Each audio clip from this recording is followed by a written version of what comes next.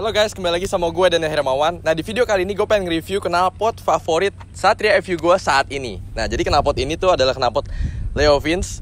Ya ini buatan Asia, Leo Vince Thailand dulu buatannya, bukan Itali. Ini Leo Vince Corsa GP full system buat Satria FU. Nah jadi uh, knalpot biasanya gue pakai knalpot DBS cukup lama karena suaranya enak, tarikannya juga enak. Nah kali ini knalpot Leo Vince ini cukup lama nempel di motor gue karena dia punya karakter unik dan juga uh, something yang buat gue tertarik buat pakai itu terus di motor gue. Nah langsung aja gue jelasin apa saja keunikannya dari Leo Vince ini. Dan juga ntar yang terakhir pasti kita tes sound. Waktu lagi idle dan juga ntar gue bawa jalan.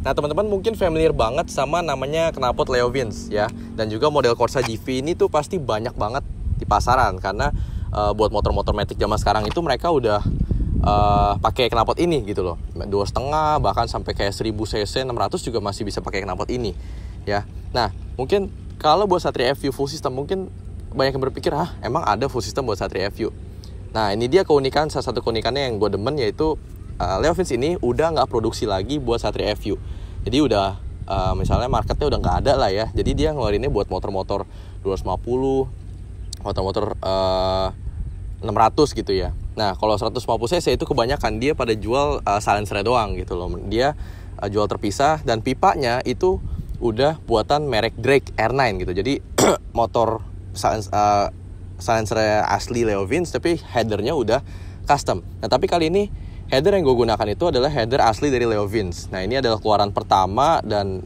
istilahnya dulu orang-orang masih belum terlalu engeh soal Leo Vince ini karena Leo Vince ini dulu orang-orang taunya buat motor Ninja 250 karbu tuh zaman-zaman itu. Nah kalau sekarang ini orang udah pada familiar jadi mereka taunya knalpot Leo Vince ya Leo Vince uh, R9, WRX, terus uh, Acropovic dan lain-lain gitu ya. Ini salah satu knalpot yang uh, laku di pasaran. Nah, keunikannya itu dari uh, pipa Leo Vince ini adalah yang original semuanya. Leo Vince itu dia 54 mm. Jadi uh, di bawah itu atau di atas itu itu udah pasti palsu. Dan ini Leo Vince baik lagi gue bilang ini adalah Leo Vince Asia. Ini buatan Thailand bukan Itali ya ya correct me if I'm wrong juga. Kalau sekarang ini mungkin udah di Itali segala macam gue nggak tahu. Tapi yang gue tahu yang model kecil-kecil ini ini adalah buatan Asia semua. Ya untuk harga ini tuh sekarang Sanser aja bisa 2 juta sekian. Nah kalau zaman dulu tahun 2012 tahu gue ini tuh 1,5 juta full system. Ya tapi di saat itu juga 1,5 adalah duit yang sangat besar. Nah keunikannya lagi adalah knalpot ini meskipun kelihatannya uh, stainless stainless dan juga nih gabungan sama karbon ini enteng banget ini menurut gue silencer yang cukup enteng mungkin di bawah sekilo kali ya. Mungkin berapa ratus gram. Nah kalau di compare sama DBS itu cukup jauh beratnya. DBS itu menurut gue masih lumayan berat. Itu aja yang Titan lumayan berat mungkin karena lebih panjang. Yang karbon juga lebih berat lagi. Terus uh, stainless juga lebih berat. Nah kalau ini udah karbon stainless dia tetap enteng banget. Jadi ngurangin beban motor otomatis powernya nambah gitu karena beban motor berkurang. Nah jadi dari knalpot ini meskipun pipa keliat, pipanya kelihatan gede tapi ya itu lebih enteng. Nah dia yang uniknya adalah gue bilang di sini nih pipa depan untung udah nggak panas nih udah gue pegang gue nggak sadar. Pipa depan itu kecil banget kecil banget benar-benar kecil dan di sini langsung gede. Gue nggak tahu ini sebutannya power bomb atau apa. Tak uh, ini tuh buat dapetin uh, torsi di bawah. Jadi buat karakter Satria FU yang mesinnya uh, main RPM atas kebantu nih sama pipa kayak gini nih. Jadi RPM bawahnya masih lumayan dapet itu jadi pertama modelnya uh, eh, gue demen modelnya terus uh, knalpotnya langka sekarang sama ini pipanya sih sebenarnya yang lebih langka lagi nih.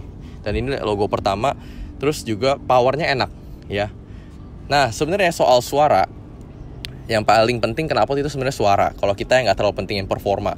Kalau suara itu dia ngebas tapi nggak ngebas banget kayak DBS ngebasnya agak unik gitu. Kayak gimana ya bilangnya ntar kita dengar aja suaranya. Tapi juga sebenarnya agak sember dikit mungkin karena pendek saringannya. Jadi nggak se eh, nggak sebulat DBS cuma kalau DBS itu karakternya bulat banget. Kalau ini bulatnya unik agak sembernya juga unik. Nah langsung aja kita dengerin nih suaranya biar nggak penasaran. Oke, langsung aja gue buat videonya ya. Nah video ini uh, sebenarnya teman-teman bisa dengar juga suaranya di video gue yang 16 knalpot itu. Cuma itu di ruangan ter tertutup. Sekarang kita lihat di ruangan ya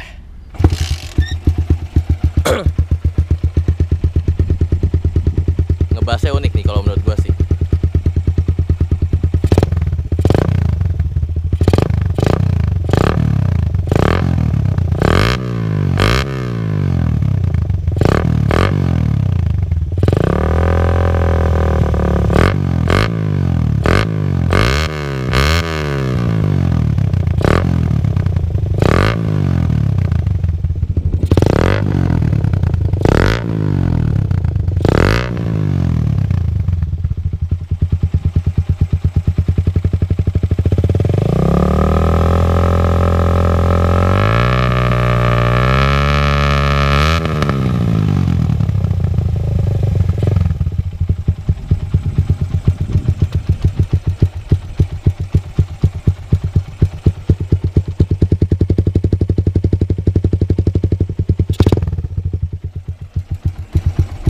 Nah itu dia yang bisa gue bilang dia kayak ngebasnya pada saat lu lepas gas juga ada brrrr gitu ngebasnya keren lah unik lah gitu ya. Nah jadi uh, mudah-mudahan uh, bisa kegambar lah ya suaranya tuh kayak padet keras juga tapi ada sedikit sembernya dikit gitu dikit banget sih.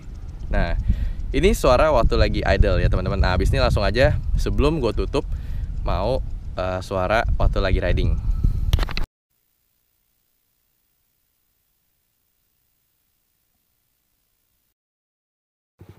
Okay.